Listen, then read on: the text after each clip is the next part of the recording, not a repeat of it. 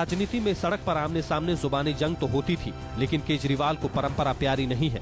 लिहाजा गुजरात की सड़क पर पुलिस ने रोका तो दिल्ली की सड़क पर ही सियासत का रण खोल दिया।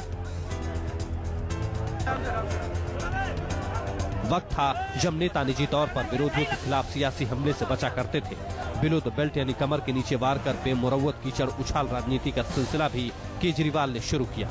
खुद के चेहरे को ईमान का पर्याय बताया, दिल्ली की सत्ता छोड़ते ही केजरीवाल ने कांग्रेस के साथ साथ मोदी के चेहरे पर दाग ही दाग बता डाले। इस्तीफा देकर पहले ही भाषण में मोदी के अंबानी अडानी से रिश्तों पर आरोपों के तीर छोड़े थे। नरेंद्र मोदी के खिलाफ केजरीवाल ने रोहतक की पहली रैली में ही हुंकार भरी थी। हेलीकॉप्टर और रैलियों के खर्चे का हिसाब मांगा था। सीधा आरोप जड़ा था कि नरेंद्र मोदी, अंबानी और अडानी के प्यादे हैं, उद्योगपतियों के इशारे पर चलते हैं। चाय बेचने के अतीत का तो बस सियासी इस्तेमाल ही करते हैं।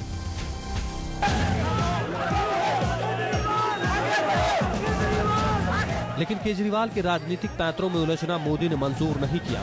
मोदी ने केजरीवाल के खिलाफ एक शब्द भी नहीं बोला तभी केजरीवाल ने तय कर लिया कि अब मोदी की मात में घुसकर चुनौती देंगे। वाराणसी से चुनाव लड़ेंगे तो केजरीवाल भी वहीं से चुनाव लड़ेंगे। और इससे भी एक कदम आगे आकर गुजरात में जाकर विकास की हकीकत को बेपर्दा करने का ऐलान भी केजरीवाल ने कानपुर के रोड शो की सभा में कर डाला। पाँच, छह, सात, आठ, चार दिन, पाँच मार्च से आठ मार्च तक मैं गुजरात जा रहा हूँ, वहाँ का विकास देखने विकास देखने जाऊँगा मैं। मैं भी देखूँ कितना विकास हो गया। अगर विकास हो गया तो हम दिल्ली में भी करेंगे विकास हम उत्तर प्रदेश में भी करेंगे सीख के आएँगे वहाँ से कितना विकास हो गया।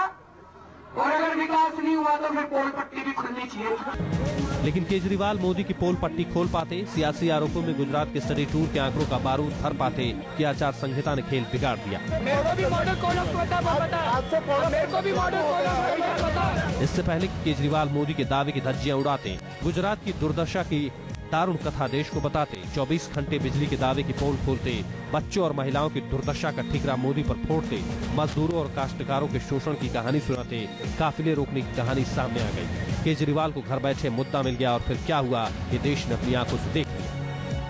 तो मैं देखने के लिए आया था, सुनने के लिए आया था। एक ही बात है, जब तक हम सारे इकट्ठे नहीं होंगे इस देश के लोग, तब तक ये बीजेपी और कांग्रेस वाले हमको देखते रहेंगे। मोदी और केजरीवाल के बीच की जंग अब क्या मोड़ लेगी, इस पर देश की नज़रें कर चुकी हैं। मोदी ने तो सुबह पर खामोशी ओढ़ रखी है, लेकिन केजरीवाल की सेना के सियासी आचरण पर राजनीति को साफ़ सुथरे नज़रिए से देखने वालों की जमात सवाल खड़ा कर रही है ब्यूरो रिपोर्ट, न्यूज़ ट्वेंटी